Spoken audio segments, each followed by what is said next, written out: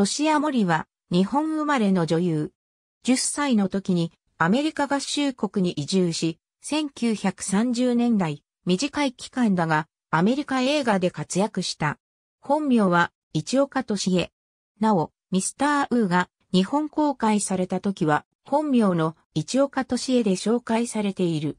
1929年代後半からサイレント映画に出演。ミスター・ウーでは、トシア一岡とクレジットされた。 Streets of Shanghai では、ターシエ一岡。 The Man Without a Face で、やっと本名のターシエ一岡でクレジットされたが、この映画は現存していない。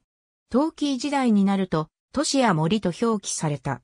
あっぱれオングでミス・リーを演じる。同年、デビッド・ O・セルズニック制作のアクションメロドラマ、万毛流機体でも中国人女性を演じる。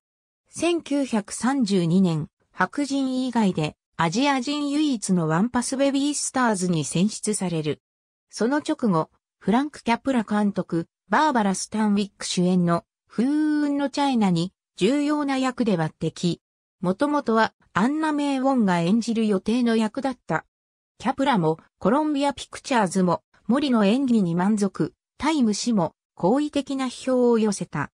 スタンウィックは申し分ないにしても女優陣の中で最も注目すべきは釣り目の日本女性、トシア・モリである森は1930年にサンフランシスコ出身の中国系俳優アレン・ジョンと結婚。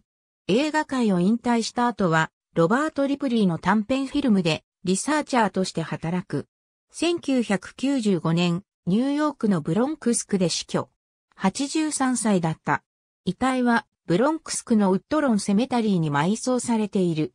出演作、ザ・シークレッツ・オブ・シンのポスター。小前明も共演。